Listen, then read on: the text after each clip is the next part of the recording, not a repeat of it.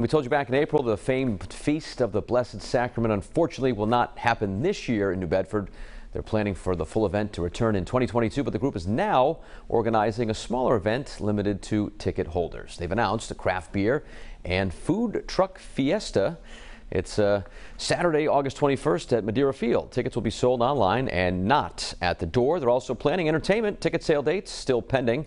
Club's fundraising helps provide academic scholarships and assistance for South Coast organizations.